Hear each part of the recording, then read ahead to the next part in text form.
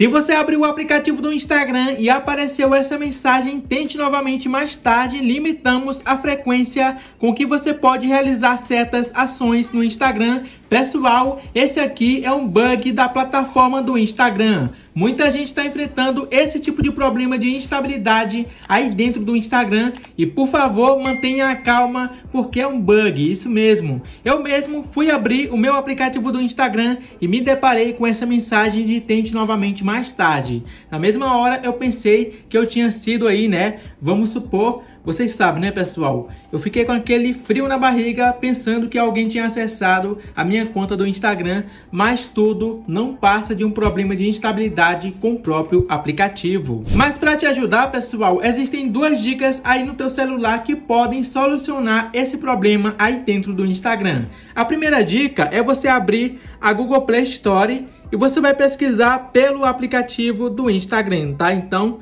é só você pesquisar aí pelo Instagram. Deixa eu digitar aqui. Olha, verifica se há uma nova atualização para o Instagram e se tiver você pode atualizar e consequentemente este problema de tente novamente mais tarde dentro do Instagram é resolvido na mesma hora. É importante também que você clique nesses três pontinhos e ative essa caixinha aqui de atualização automática, porque daí quando o Instagram receber uma nova atualização, automaticamente a Google Play Store vai atualizar e o problema vai ser resolvido. A segunda dica é você procurar pelas configurações do teu celular, clica nas configurações, procura por aplicativos, toque em aplicativos e agora é só você localizar o aplicativo do Instagram.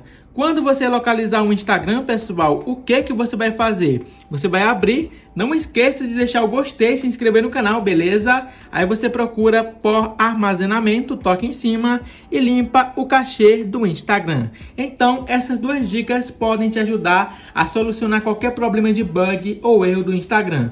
Mas se pessoal, se essas dicas não tiver te ajudado, é porque possivelmente realmente, né, seja um problema do Instagram, um problema de estabilidade da meta que a empresa aí, né, que fica aí, é, vamos supor, administrando o Instagram, o Facebook, WhatsApp.